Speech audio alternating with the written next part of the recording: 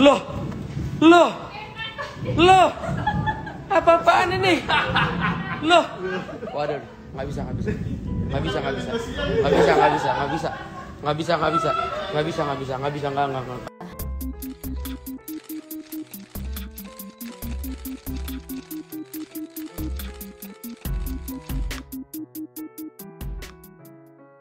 Berita kesedihan datang dari keluarga Ustadz Arifin Ilham. Anak kedua dari Ustadz Arifin Ilham, Amir, meninggal berpulang pasca dirinya masuk rumah sakit, koma, dirinya dilarikan ke rumah sakit karena liver.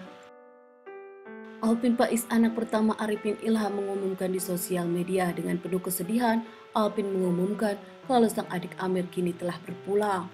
Ini potret keluarga pasca Arifin Ilham meninggal, namun kini Amir yang baru saja menikah baru tiga bulan menikah dengan istrinya, perkenalan secara ta'aruf, kini juga harus berpulang, menyusul sang ayah Ustadz Arifin Ilham meninggalkan keluarganya dan meninggalkan istri tercinta yang baru saja dinikahinya.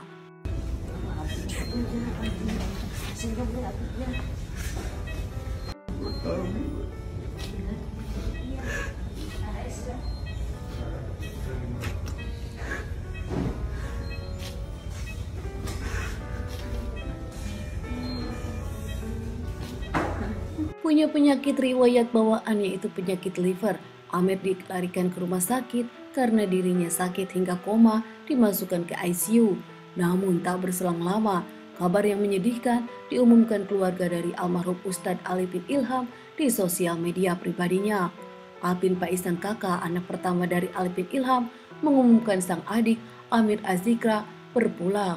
Insya Allah dimakamkan pagi ini di pondok pesantren Azikra.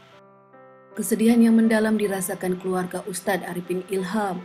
Bahkan, keluarga dari Arifin Ilham ini mendapatkan doa dari banyak ustadz di Indonesia dan juga para rekan sesama artis dari Alvin Pais di sosial medianya.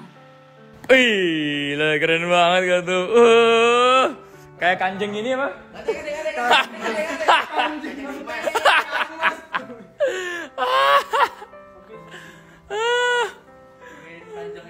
Ah, Coba, coba dulu, coba. lihat tuh.